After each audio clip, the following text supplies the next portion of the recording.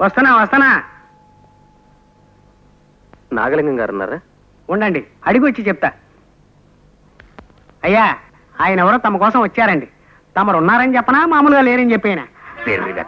ఆ మనిషిని ఎదురుగ్గా పెట్టుకుని నా మాట్లాడటం చెన్నాలుగా గిట్టలు తొక్కేసిన చవిటి పరల మోహన్ నువ్వును. పోలాపరికి ఎవరు నువ్వు? ప్రేమ పెళ్ళికి బలైపోయిన ఓ అభాగ్యుణ్ణి ఆ? ప్రేమని నమ్మి మసైపోయిన ఓ భగ్నజీవిని. పేరు మోహన్. ప్రేమ పురుగు నిన్ను కాటేసిందా? పాపం. రా. పాపం ఎండను పడి వచ్చినట్టున్నావు కాసేపు ఇలా కూర్చో. పర్వాలేదండి. ఏమిటి ఇలా వచ్చావేమిటి? ప్రేమ ఒక నాటకమని ప్రేమ పెళ్ళిళ్ళు పేక మేడలని తమరు బోధిస్తారని విన్నాను. నా బాధ తమతో చెప్పుకుని కాస్త ఊరట చెందుదామని ఇటు వచ్చాను.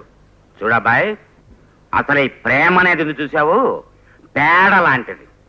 గోడ కొడితే పిడక నీళ్ళలో కలిపితే కళ్ళాపి అవుతుంది. ఉండ చుడితే గొబ్బెమ్మ అవుతుంది. అంటే నా ఉద్దేశం ఒక స్టాండర్డు స్థిరత్వం లేని పదార్థం ఈ ప్రేమ. ఆడ కావచ్చు మొక్క కావచ్చు. అవతల వాళ్ళు ఎర్రగా బుర్రగా ఉన్నారని తెలిస్తే ప్రేమించేస్తారు పెద్దల్ని ఎదిరించి పెళ్ళాడేస్తారు.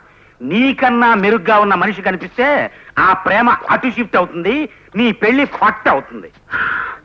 మావాడు ఇంతే బాబు. ఇలాగే ప్రేమలో పడి ఇంట్లోంచి పారిపోయి పెళ్ళి చేసుకున్నాడు. ఆ తర్వాత అమ్మాయి ఎవరితోనో లేచిపోయింది. ఆ అవమానాన్ని భరించలేక మావాడు రన్నింగ్ రోడ్ ఇంజన్ కింద పడి పచ్చడైపోయాడు. అయితే మీ అబ్బాయిది నాది ఒకటే కేసు సార్. నేను అలాగే పచ్చడైపోదాం అనుకుంటున్నాను. మా మున్సిపాలిటీలో కదిలే రోడ్ ఇంజన్లు దొరక్క ఆగాను. అంటే నువ్వు ప్రేమించి పెళ్ళి చేసుకున్న పిల్ల కూడా? ఇంకో కుర్రాడితో సఖ్యంగా ఉంటుంది సార్. హరిహరి అది నేను భరించలేకపోతున్నాను. అందుకే ప్రేమ పెళ్ళిళ్ళు వద్దు పెద్దలు కుదిర్చిన పెళ్ళిళ్ళు చేసుకోండరా అని కుర్రకారిని పదే పదే హెచ్చరిస్తుంటాను నేను. మా నాన్న ఫలానా అమ్మాయిని చేసుకోరా అని ఆర్డర్ వేస్తే పెళ్ళి చూపులు కూడా చూడకుండా దీని మెడలో తాళి కట్టేశాను నేను. చూసావా ఎంత పతిభక్తో దీనికి? నాకు పాద పూజ చేయిందే పచ్చి మంచినీళ్ళు కూడా ముట్టదు. మొగుడు పెడాలంటే ఇలాగా ఇలా ఉండాలయ్యా. అది భక్తికి పరాకాష్ఠలే.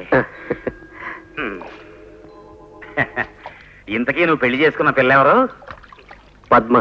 ఏ పద్మ? ఏ ఊరు? హైదరాబాద్. ఏ హైదరాబాద్? ఎవరమ్మాయి? గుండు పాండురంగం గారిని ఉన్నాడులేండి ఒక బడుద్దాయి వాళ్ళ అమ్మాయి. అంటే నువ్వు పద్మ మొగుడువా? పద్మ తెలుసా మీకు? పద లోపలికి. నువ్వు చెప్పేది ఈ అమ్మాయి గురించేనా?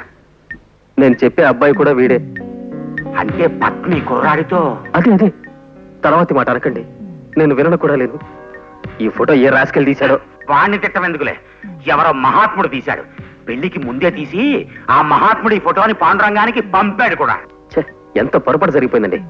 పాండురంగ గారికి బదులు ఆ రాస్కెల్ ఈ ఫోటోను నాకు పంపించుంటే నేను ఈ పెళ్ళి చేసుకునేవాడిని కాదు కదా.